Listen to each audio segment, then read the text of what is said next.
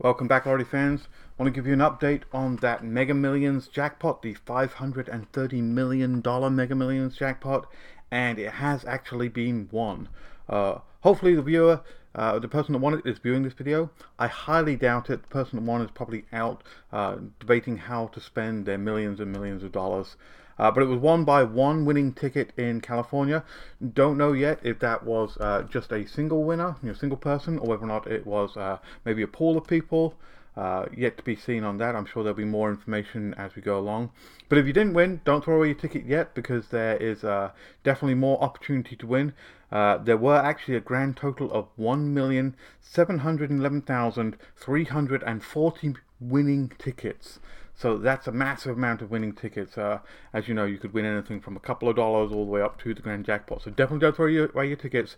Go ahead and check your tickets. Maybe at least you can recoup the cost of a, a, a ticket. Uh, in addition to that million, uh, $530 million jackpot, there were three tickets that actually won $1 million. Uh, there were also five tickets that won $30,000 each. Uh, they won that by winning the third prize and they got the multiplier uh, as well, which was a three, so that would be 10,000 times 3, $30,000. And there were 43 tickets which won $10,000. So still a lot of big money out there that uh, people could have in their tickets. Definitely go ahead and check those. And don't worry, uh, as I'm sure a large jackpot will come around pretty quickly. The uh, uh, the lottery company that runs Mega Millions and runs Powerball have been doing some tweaks over the last few years to make sure that these jackpots grow faster and they grow quicker. Uh, so we've definitely seen that uh, recently. You know, we this is, I believe, our third large jackpot this year. We had one in January that was 437 million dollars, and we had one in March that was 273 million dollars. And they do that with a combination of changing the odds, so it's a little bit harder to get that jackpot, which means that those jackpots roll over uh, a little bit more frequently than they did in the past.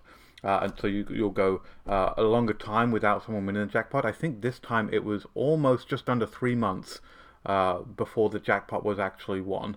Uh, and they also have increased the price from $1 to $2, which obviously is going to increase the jackpot because they always put a portion of that ticket back into the jackpot prize.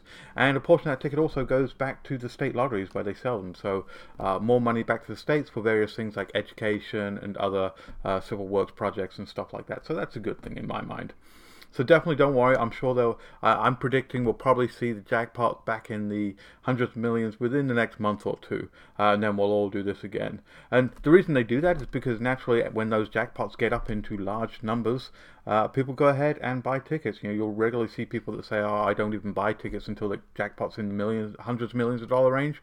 And certainly, when we start hitting those, you know, 300s, 400s, 500 you know, then we start seeing lots of people start buying tickets. As you know from last year when the jackpot went up to 1.5 billion dollars, uh, that that was when those you know we were seeing the the jackpots grown by hundreds of millions of dollars every single lottery drawing, and that's simply because a lot more people were playing the lottery.